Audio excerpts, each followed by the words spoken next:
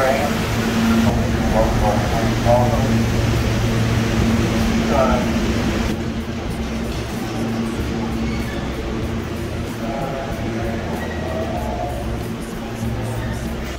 So, ito lang po ang problema dito. Sa dami-dami ng plan nila, nagkaka-traffic na. So, usually, yes, doon ako sumasakay. Pero, grabe.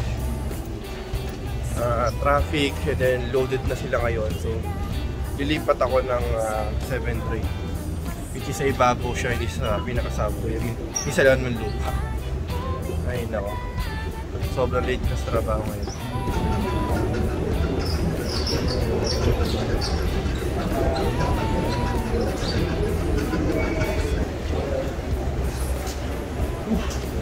Ito, ito Manhattan.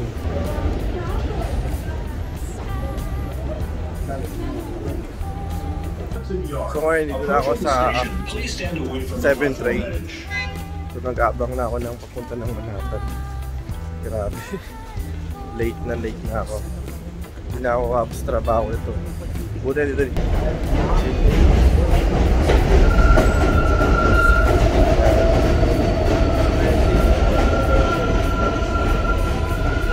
So guys, sakay muna ako. Kabiyahe na ako. So ngayon, bumaba ako dito sa Woodside para lumipat na express train. para mas mapabilis ako ng konti. Kasi Ilocos stop din, maraming stop here. Nag-aabang na ako ngayon ng express train. Grabe. 8.30 pasok ko pero 8.27 na. Nag-text na ako sa post. So this is the Woodside station. And guys, so this is the 7 train express. Kaya makakasakay na ako.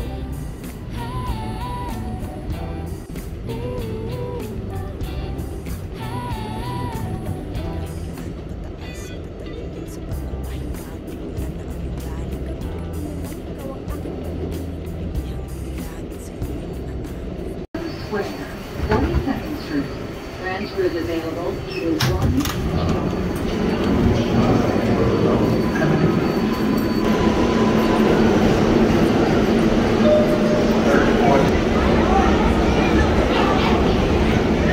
So, sa akin na bumaba na yung 20.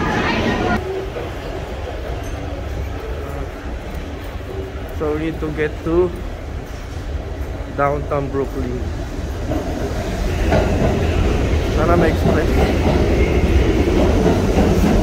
Ah, local to eh.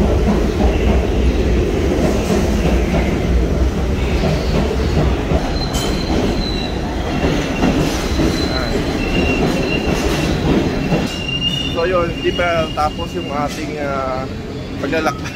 Kailangan pa lumipat ng 1, 2, 3 train.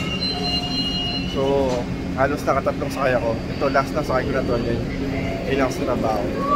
So, that's the local uh, stop. And then, itong way na to is express. So, nag-aabang na ako ng express para makbab ng bilis. So, ganun ang diskarte dito sa New York. So, kailangan makahanap ng way mo, patalon-talon ka ng mga train para makapunta ka sa trabaho mo pupuntahan. Kailangan kabisado mo siya. Kasi kung hindi, may stuck ka doon. Katulad kanina, ang dami. Stuck na yun. Aabutin na ako na ng minuto siguro, oras na kahit dito, kahit paano, dire-diretso biya. So yan, meron na express. Napakay na. So, from here, mga stop na lang yan. Trabaho na. Alright, thank you for watching. At nakay na ako. Ito na yun. This is Bye.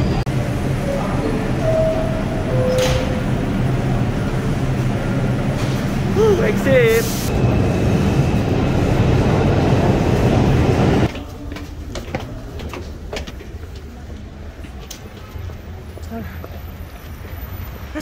And yes guys, finally. Ano na ako sa Portia Street? Napasok na ako sa trabaho. So na-late na ako almost 30 minutes. May overtime ako kahapon but eto nagamit ko doon. Thank you for watching again. Ciao!